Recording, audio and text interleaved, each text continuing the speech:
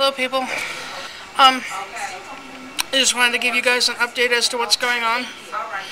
Um, as you can see, I have no hair.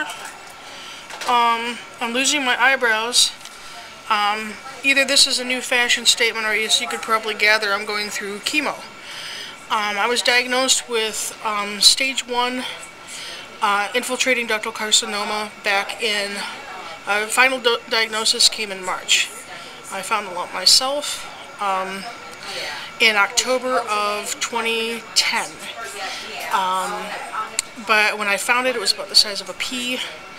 By January, when I actually got in for assessment, it was about the size of a walnut.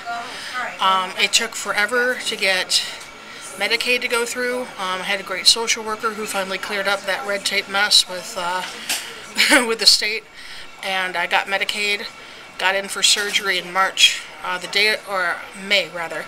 The diagnosis was in March. My fiance asked me to marry me on the date of my diagnosis. That's the ring.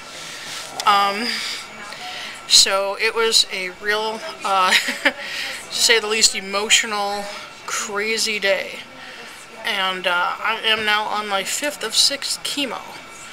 And uh, I'm doing pretty good. Um, Last chemo, I certainly, as hell, didn't want to talk to any camera. I would have told you where to stick the camera. But uh, this chemo, uh, the day before, I had a wonderful Reiki session, energy healing, and it really helped, I honestly can say. Um, today, I'm running on... Uh, I didn't sleep last night. Um, take steroids the day before, the day of, and the day after my chemo session. So I am wired for sound. Uh, I could probably uh, run laps around the hospital right now. I'm so so wired. Um, so that's what's going on. Um, I'm doing pretty good. I got one more chemo left, then I do radiation, and then I'm on pills for five years. But uh, I'm hanging in there, and uh, I'm uh, 36 years old, so ladies, it is never too early to get a mammogram. You need to be checked. It saved your life. It literally saved my life. Self-examination and a mammogram uh, saved my life.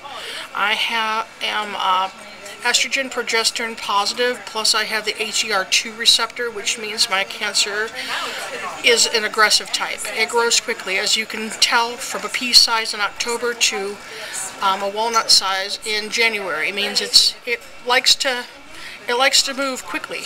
Uh, uh, luckily, the lymph nodes were completely clear, so it didn't spread. I got lucky. Um, the rest of the women on my side of the family also have cancer, all the way back to my great grandmother. So, um, yeah, it's probably genetic. So, get checked, ladies. Um, there are women here in the uh, in the center as young as 26, 25 years old with cancer, 18 years old. It's no joke. Um, it's getting earlier and earlier now, and it can save your life. Feel your boobies. That's all I gotta say. Take care, people.